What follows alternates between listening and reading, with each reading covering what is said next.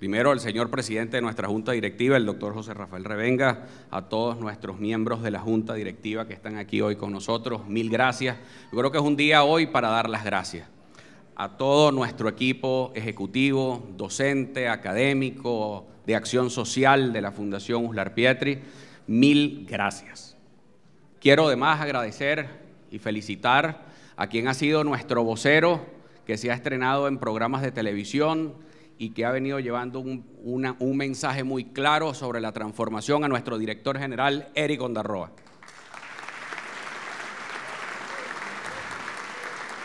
A todo nuestro equipo. Yo creo hoy es un día para dar las gracias. Quiero darle las gracias también a alguien que nos viene ayudando y dándonos un empujoncito todos los días. Es a nuestra embajadora de las casas del lápiz, Marie Claire Harp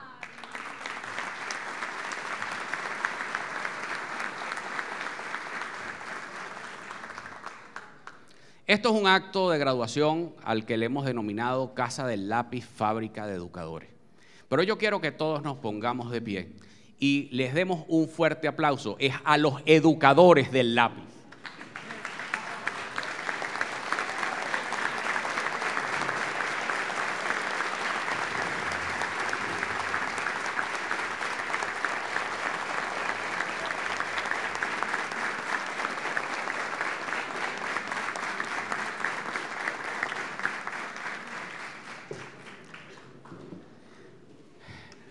Las fechas importantes, decía ese señor llamado Uslar Pietri, no solamente deben ser para entregar títulos, para tomarnos la foto y para recordarlo.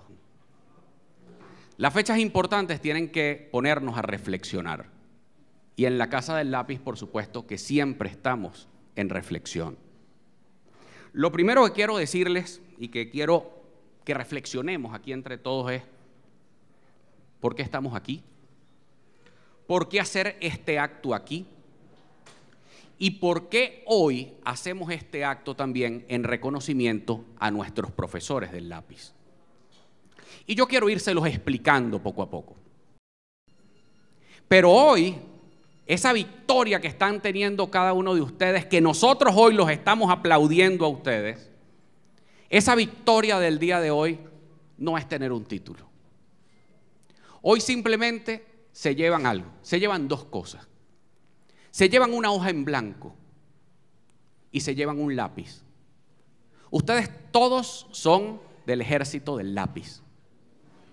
Y el lápiz es el símbolo de la educación, del trabajo, de la honestidad, del trabajo limpio, del trabajo pulcro y sobre todo porque a partir de este momento ustedes tienen esa hoja en blanco. ¿Ustedes saben para qué?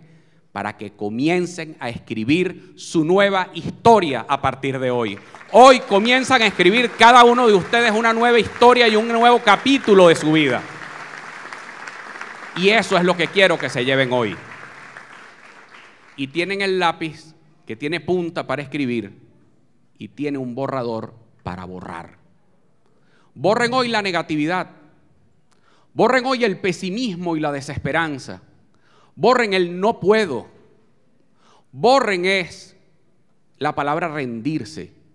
Y como les dije a los muchachos, a ver si alguno de mis alumnos de Macarao se acuerda. ¿Qué es lo que tenemos que borrar? La, la palabra es procrastinación. Esa la tenemos que borrar, que es el dejar hacer y el dejar pasar. No todos los días y a cada rato tenemos la oportunidad de reinventarnos y a partir de hoy ustedes se están reinventando. Pero quiero decirles por qué además hoy están aquí y hemos denominado que la Casa del Lápiz es una fábrica de educadores. Es que hoy ustedes no solamente se están graduando en un oficio, porque la Casa del Lápiz no es una escuela de artes y oficios. ¿Qué es la Casa del Lápiz? La Casa del Lápiz es un centro de formación de líderes innovadores que están innovando en su propia vida y que van a innovar en su entorno. Pero además, hoy no solamente nuestros profes, a quien hoy estamos reconociendo por su mística, por su trabajo, hoy ustedes también se van a convertir a partir de hoy comienza una nueva etapa de su vida porque también son educadores de Venezuela. Ustedes ya tienen conocimiento que pueden impartírselo a los demás.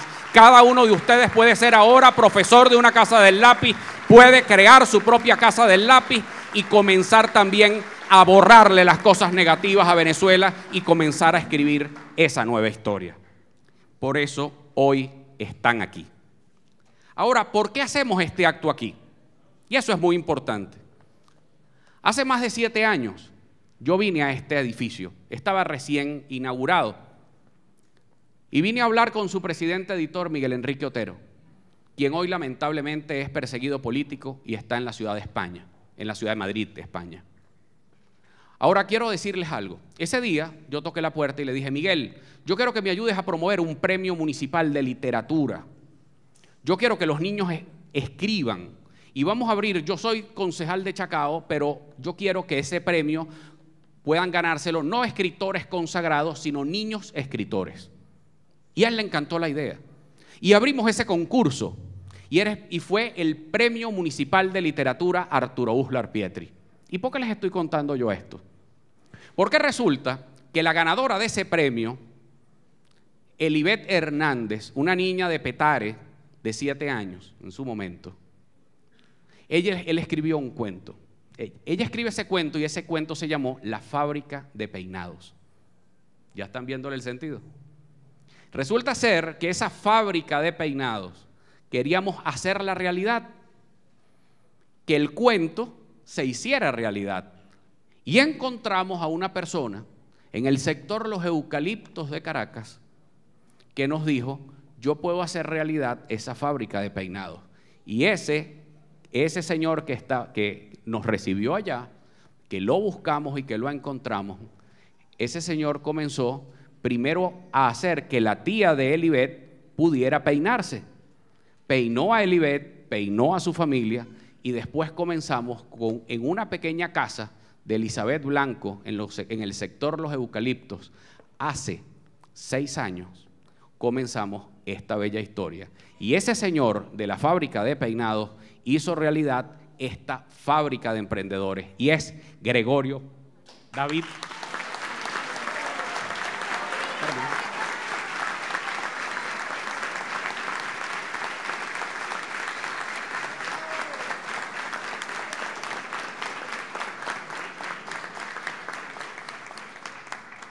Y arrancó esta fábrica. Pero ahora esta fábrica no solo es de peinados. Ahora esta fábrica es de tapicero. Esta fábrica tiene bailarines. Resulta ser que hoy, que los que aquí bailaron para ustedes, son egresados igual que todos ustedes en la Casa del Lápiz porque se están graduando como bailarines profesionales hoy.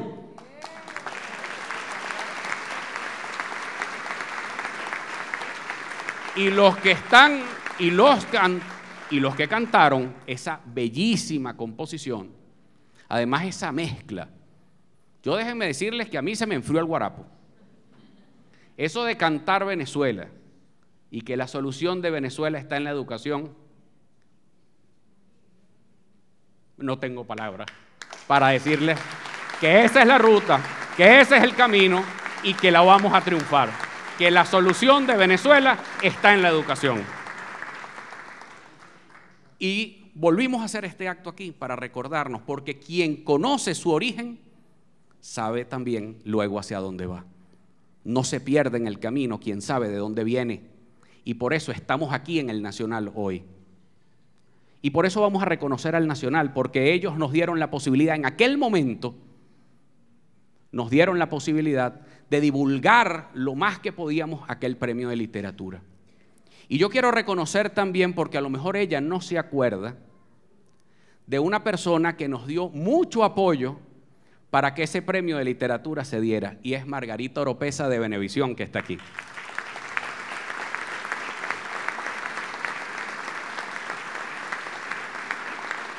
Hoy la Casa del Lápiz, ahora quiero anunciarles hoy aquí, en nombre de la Junta Directiva del Nacional, que ahora el edificio del silencio completo es de la Fundación Uslar Pietri y de la Casa del Lápiz. Quiero agradecerle a Miguel Enrique Otero, a la Junta Directiva del Nacional por confiar en la Fundación USLAR, a Antonieta Jurado Blanco y por supuesto a Jorge Macriniotis, nuevo director del Nacional, quien nos dio esta oportunidad y esta responsabilidad. Así que cada uno de ustedes, esta fábrica de educadores, tienen su espacio para seguir enseñando y aprendiendo, porque ahí está el rescate de Venezuela. Nosotros somos como la fábrica artesanal que saca modelos únicos. Por eso cada uno de estos profes que están aquí hoy son profes, muchos de ellos egresados de nuestras casas del lápiz. Y otros que tienen muchos años trabajando con mucha mística y dedicación, por eso hoy el reconocimiento para ellos. Pero como les decía, Uslar Pietri me pudiera regañar si hoy simplemente les doy las gracias, les damos un aplauso y se acabó. No. Aquí les quiero explicar qué es lo que realmente estamos haciendo. Estos profes que ustedes ven aquí hoy, esta junta directiva y todos los que aquí estamos. Fíjense esto.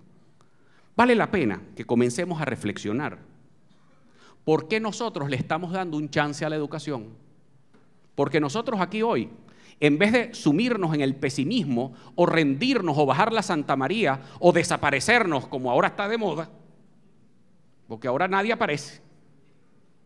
No, nosotros le damos un chance a la educación en medio de la oscuridad. Ahora, ¿qué es la educación hoy? ¿Será la misma del siglo XX? ¿Será la misma? ¿Estamos viviendo los mismos tiempos de hace 20 años? ¿O de 40 o de 50 años? No, todo está cambiando. Y nosotros estamos obligados hoy a repensar la educación. Pero nosotros lo estamos haciendo aquí. Y fíjense esto. Tenemos que pensar que la tecnología llegó. Tenemos que pensar que todo va cambiando increíblemente día tras día. Es que la educación se quedó en el tiempo. Pero nosotros hoy, aquí en esta casa del lápiz, no nos vamos a quedar solamente con la crítica o esperando o reclamándole a un gobierno que no lo va a hacer, que lo haga nosotros comenzamos con nuestra moral en alto. Nosotros lo estamos haciendo aquí. Y es que la educación aquí tiene otro sentido. Es un sentido útil, práctico, que a la gente le sirva. Porque alguien que sale de aquí de la casa del lápiz no es alguien que se queda con los brazos cruzados diciendo yo no puedo. Esa palabra aquí no existe. Aquí en la casa del lápiz nosotros sí podemos hacer las cosas. Pero lo sabemos además desde otro punto de vista también. ¿Y qué es la educación? Es aprender cosas nuevas y hacerlas mías. Eso es demasiado importante. Hacerlas nuestras.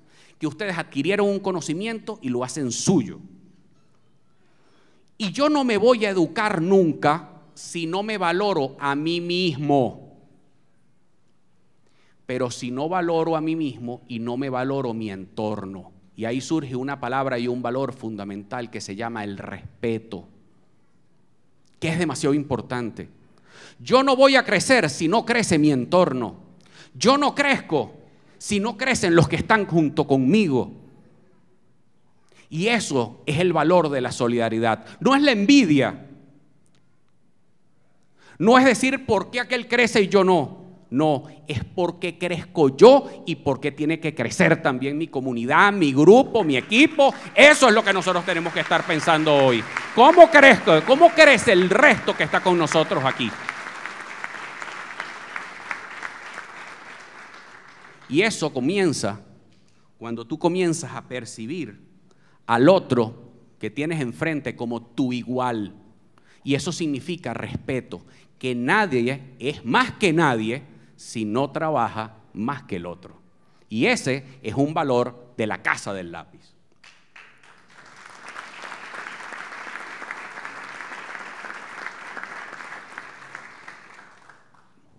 Y aquí voy a arrancar una frase que me la dijo la profesora Alba Revenga anoche. Y me dijo, serás grande en la medida que los demás crezcan contigo. Y eso es un valor fundamental.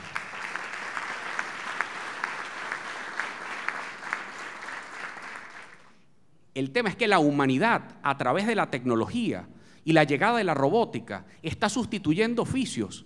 Y en los próximos 15 años más de 20 oficios van a ser borrados. Pero ustedes saben cuál es el oficio que nunca va a ser borrado. El oficio de ser educador. Ese no está en riesgo. El ser chofer, el ser chofer está en riesgo porque están inventando los carros sin chofer. Están ya los autobuses sin chofer. Ah, pero hay alguien que no podemos sustituir nunca. ¿Ustedes saben qué es? El educador. La gran profesión, escríbanlo, del siglo XXI y sobre todo aquí en Venezuela, que la vamos a convertir en la Venezuela educadora y en la Venezuela de la educación, será el maestro y será el educador. Esa será la profesión del siglo XXI. ¿Quién es el maestro hoy? Es un compañero en constante aprendizaje. Ese es el educador de hoy, porque muy probablemente el alumno siempre supera al maestro, ¿verdad? Y además de eso, está esa ciencia extraña que yo la vivo y la he visto durante muchos años, que es la ciencia de aprender y enseñar a la vez. Porque el maestro nuevo, el educador, va a tener esta condición. Uno, el educador es pana, el educador es amigo, es tu mejor amigo, es quien conversa contigo, es quien te motiva, es curioso y sobre todo que ya no es simplemente el sabelo todo, que todo se lo sabe. El educador ahora tiene que acompañar, tiene que ser el amigo, pero el amigo ético, el amigo con valores, el amigo con principios que te enseña a crecer y a ser útil. Ese es el, educador que estamos buscando nosotros hoy.